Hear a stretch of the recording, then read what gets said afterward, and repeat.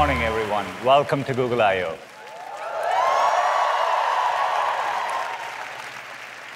It's great to see so many of you here at Shoreline, so many developers, and a huge thanks to the millions joining from around the world, from Bangladesh to Brazil to our new Bayview campus right next door. It's so great to have you as always. As you may have heard, AI is having a very busy year. So we've got lots to talk about. Let's get started. Seven years into our journey as an AI-first company, we are at an exciting inflection point. We have an opportunity to make AI even more helpful for people, for businesses, for communities, for everyone. We have been applying AI to make our products radically more helpful for a while. With generative AI, we are taking the next step. With a bold and responsible approach, we are reimagining all our core products, including Search. You will hear more later in the keynote. Let me start with a few examples of how generative AI is helping to evolve our products, starting with Gmail. In 2017, we launched Smart Reply, short responses you could select with just one click. Next came Smart Compose, which offered writing suggestions as you type. Smart Compose led to more advanced writing features powered by AI. They've been used in Workspace over 180 billion times in the past year alone. And now, with a much more powerful generative model, we are taking the next step in Gmail with Help Me Write. Let's say you got this email that your flight was canceled. The airline has sent a voucher, but what you really want is a full refund you could reply and use Help Me Write. Just type in the prompt of what you want, an email to ask for a full refund, hit create, and a full draft appears. As you can see, it conveniently pulled in flight details from the previous email, and it looks pretty close to what you want to send. Maybe you want to refine it further. In this case, a more elaborate email might increase the chances of getting the refund.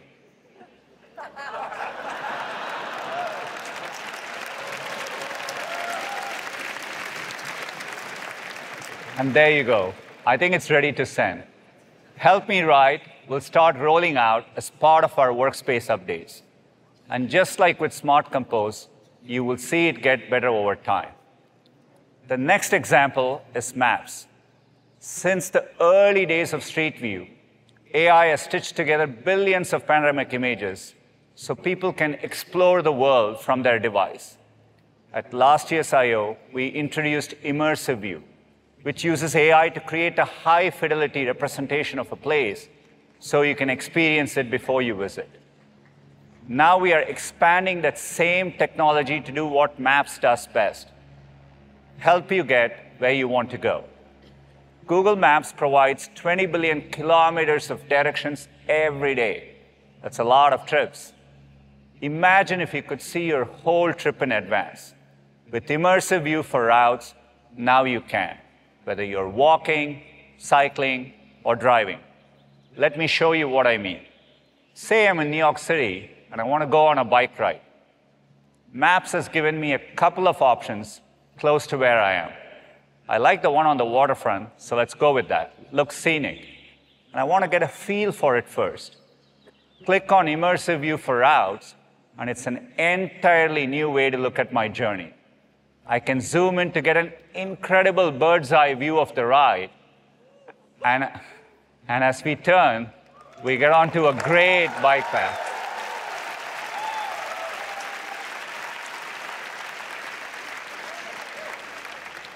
It looks like it's going to be a beautiful ride. You can also check today's air quality. Looks like AQI is 43, pretty good. And if I want to check traffic and weather, and see how they might change over the next few hours, I can do that. Looks like it's going to pour later, so maybe I want to get going now. Immersive View for routes will begin to roll out over the summer and launch in 15 cities by the end of the year, including London, New York, Tokyo, and San Francisco.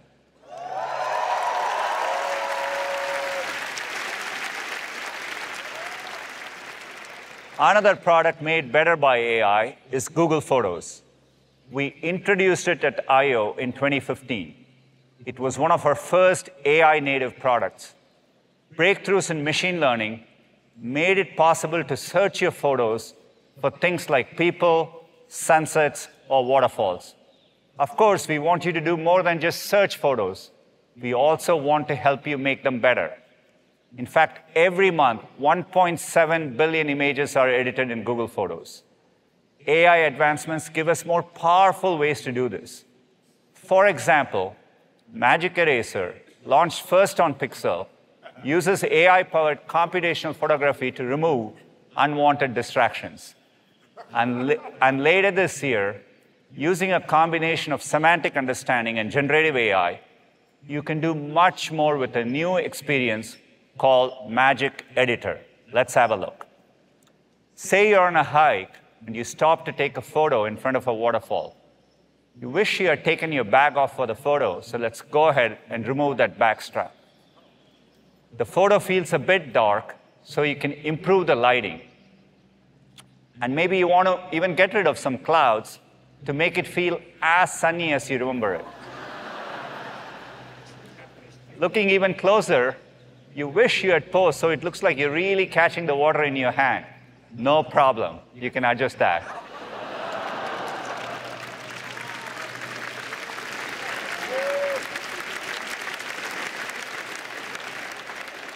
There you go. Let's look at one more photo. This is a great photo, but as a parent, you always want your kid at the center of it all. And it looks like the balloons got cut off in this one. So you can go ahead and reposition the birthday boy. Magic Editor automatically recreates parts of the bench and balloons that were not captured in the original shot. As a finishing touch, you can punch up the sky. It changes the lighting in the rest of the photo so the edit feels consistent. It's truly magical. We are excited to roll out Magic Editor in Google Photos later this year.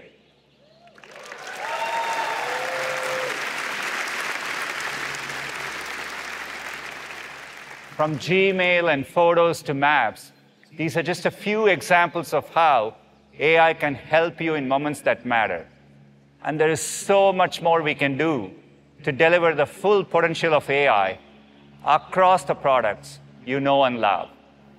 Today, we have 15 products that each serve more than half a billion people and businesses. And six of those products serve over 2 billion users each. This gives us so many opportunities to deliver on our mission, to organize the world's information and make it universally accessible and useful. It's a timeless mission that feels more relevant with each passing year. And looking ahead, making AI helpful for everyone is the most profound way we will advance our mission. And we are doing this in four important ways. First, by improving your knowledge and learning and deepening your understanding of the world. Second, by boosting creativity and productivity so you can express yourself and get things done.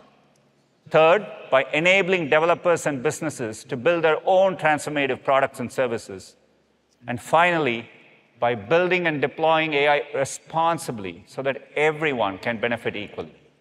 We are so excited by the opportunities ahead our ability to make AI helpful for everyone relies on continuously advancing our foundation models.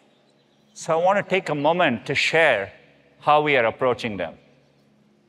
Last year, you heard us talk about PaLM, which led to many improvements across our products.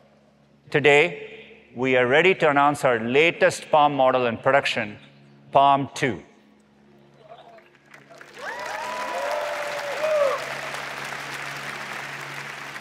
PaLM 2 builds on our found, fundamental research and our latest infrastructure.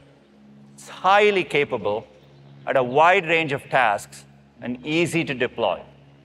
We are announcing over 25 products and features powered by PaLM 2 today. PaLM 2 models deliver excellent foundational capabilities across a wide range of sizes. We have affectionately named them Gecko, Otter, Bison, and Unicorn. Gecko is so lightweight that it can work on mobile devices, fast enough for great interactive applications on device, even when offline. PaLM 2 models are stronger in logic and reasoning thanks to broad training on scientific and mathematical topics. It's also trained on multilingual text, spanning over 100 languages, so it understands and generates nuanced results. Combined with powerful coding cap capabilities, PaLM 2 can also help developers collaborating around the world. Let's look at this example. Let's say you're working with a colleague in Seoul and you're debugging code. You can ask it to fix a bug and help out your teammate by adding comments in Korean to the code. It first recognizes the code is recursive, suggests a fix, and even explains the reasoning behind the fix. And as you can see, it added comments in Korean, just like you asked. What?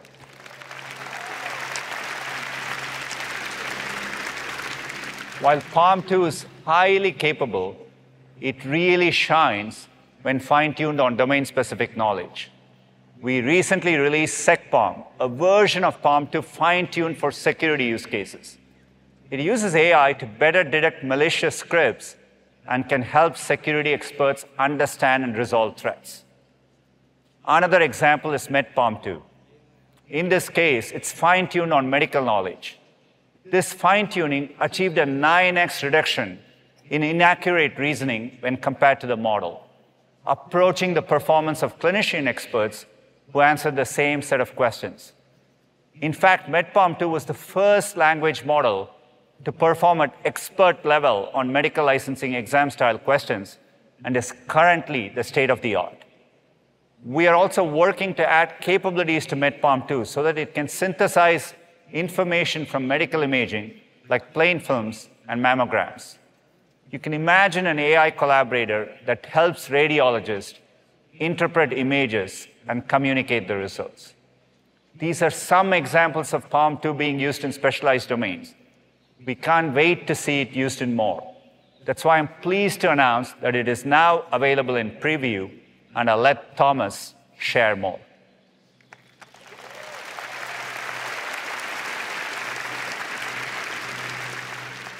PaLM 2 is the latest step in our decade-long journey to bring AI in responsible ways to billions of people. It builds on progress made by two world-class teams, the Brain team and DeepMind.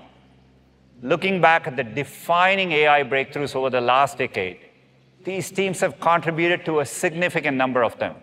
AlphaGo, transformers, sequence-to-sequence models, and so on. All this helps set the stage for the inflection point we are at today.